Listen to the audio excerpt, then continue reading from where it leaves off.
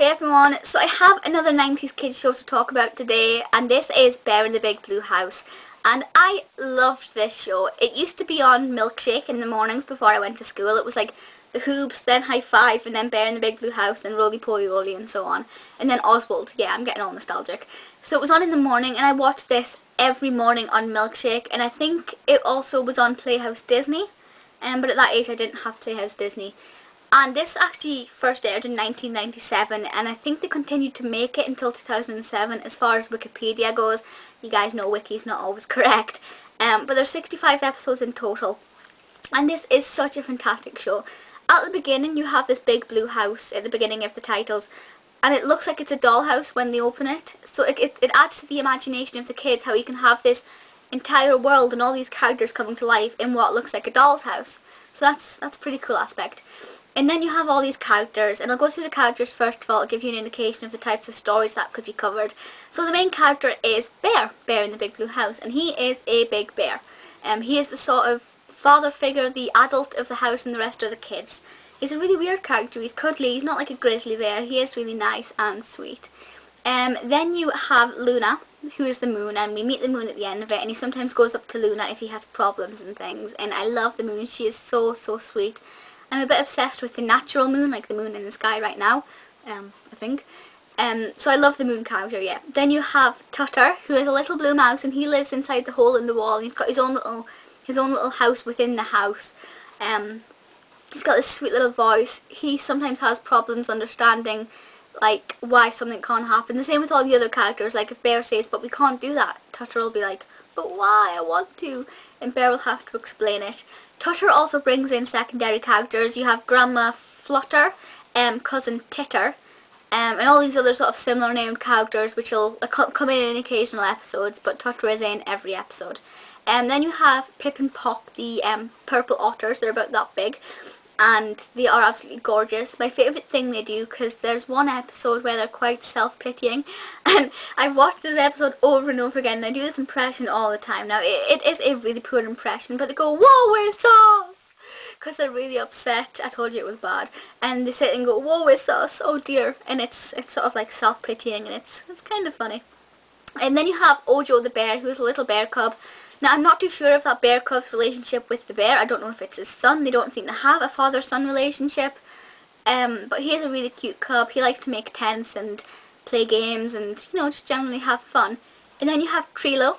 Treelo is a, a, a, blue, a green, um, no I didn't know what he was until last night. He is a green lemur, apparently. He looked, he reminds me a bit like of a raccoon, but um, he's a lemur.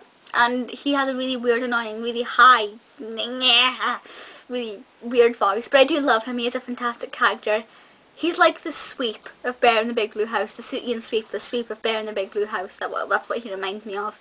Um, and in each episode, they basically go through different problems, like they may learn about something else, like food or something, and like if, if he says you've got to eat your veg, he'll be like, um, Ojo will be like, why? And then he'll say, well, you have to eat your veg, and different problems, like one of them's missing a friend, or just generally everyday problems that children go through, because all the characters are kids apart from, well, apart from Grandma Flutter and things, but they're all mainly kids apart from Luna and Bear.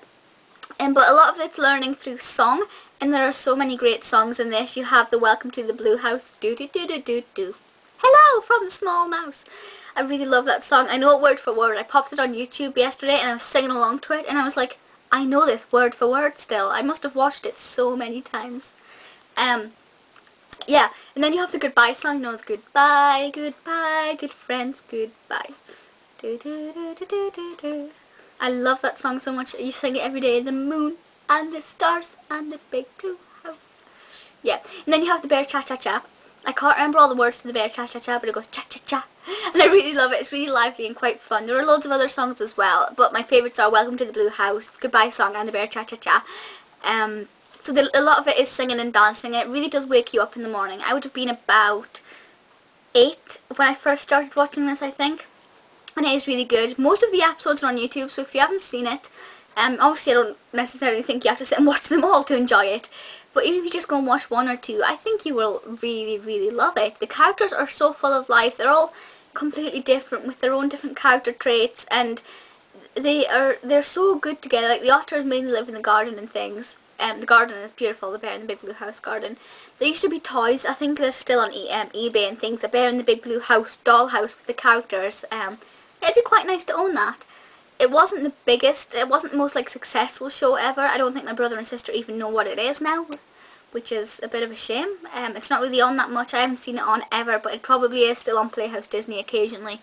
But if you haven't seen it, go and check it out. I promise you that you will love it. Um, yeah, please feel free to leave comments and things and let me know your thoughts on this. My apologies for the random singing in this video. I just get so attached to these songs because they're so they're such a massive part of my childhood. I really do love them. Yeah, um, so please feel free to leave comments and things. Any requests for any more 90s nostalgia shows, um, please let me know. I have a list still, I counted them the other day and there's about 200 of them there. And if you've noticed I do one 90s nostalgia video a week sometimes two if I'm short on video ideas but you know I have a, massive list of videos like about 500 videos so I'm never short. No I'm short in height I always am but I'm never short of video ideas. Um, so I generally do one 90s nostalgia video a week that means I'm going to be here for the next four years doing 90s videos if I wanted to cover every single one so it's going to take me a little while um, but please feel free to leave comments and things and I will see you all next time. Bye!